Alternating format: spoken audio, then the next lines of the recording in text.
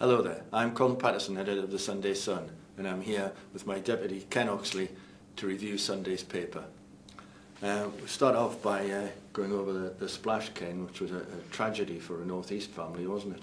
It was. It was. A, it was a, a, a double tragedy, really, because um, we reported the news that um, the, the, the, the, the baby, which is about a year and a half, two years old, uh, has, has, has, has drowned in, in Turkey. But um, it's uh, not the first time the, tra the, a tragedy like this has happened. No, that, that, that's true. Uh, the family suffered a, a, a similar tragedy two years ago, didn't they?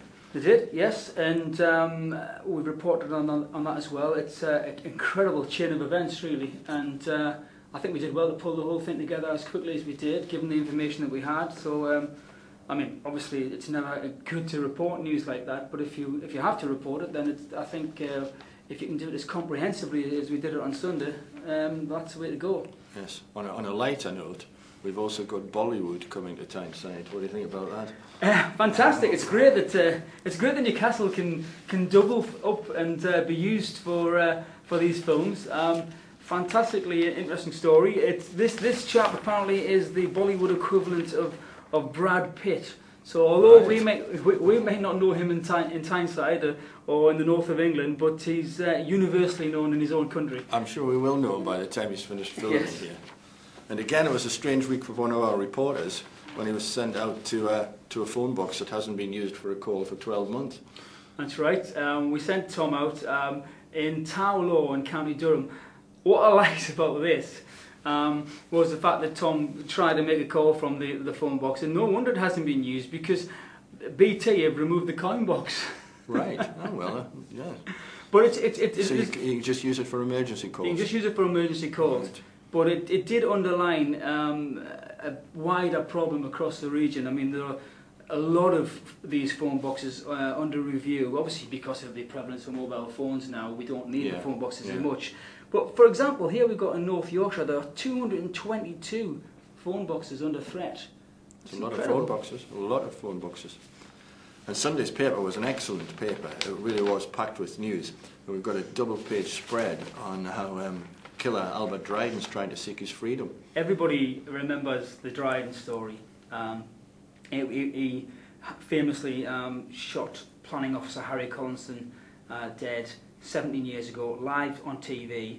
Um, incredibly, Albert Dryden thinks that he's uh, now on the brink of freedom, um, and we've got an incredible interview with him um, from behind bars. Some amazing detail, I thought, from yeah, our from yeah, our man Nigel yeah. Green.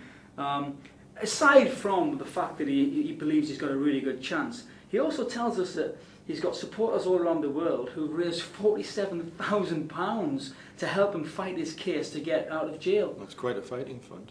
And, and also you get a really great insight into, I thought we've got a fantastic insight into um, Albert's life behind bars, the fact that um, his little treats, he, he, make, he, loves, he loves his chocolate biscuits with his tea and he, he, the things he does, he makes his jewellery boxes and he makes his cars out of matchstick boxes, uh, sorry, of matchsticks and um, he watches, his favourite programme is Emmerdale.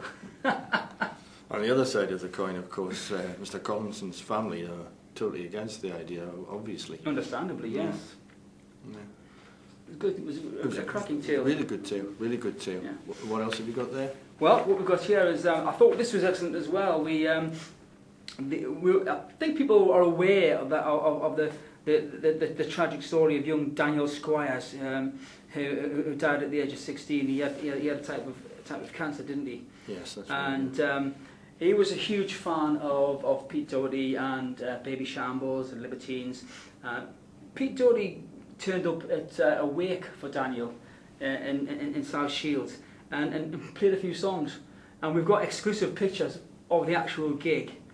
Um, and what was interesting about this, probably something I can't say with a video camera rolling, no, true, was true. that um, there was a particular song, a, a Babyshambles song that Daniel uh, loved, uh, with a rather rude word in it. Yes. Uh, which the um, they weren't allowed to play at the at his cremation for for obvious reasons.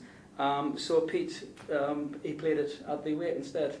Right. So It's nice to see Pete Doherty being uh, involved in, in, in showing his, uh, his uh, better side, shall we say. Something positive. Yes. Yes, indeed. Yes, yes. Again, unfortunate circumstances, though. Well, that, that's our review of the paper. We hope you enjoyed reading it. Um, if you didn't get it this week, then make sure you get it next week. And tomorrow, uh, at this time, we'll feature a bulletin on the uh, new games that are available and what our correspondent Darren Kelso thinks about them.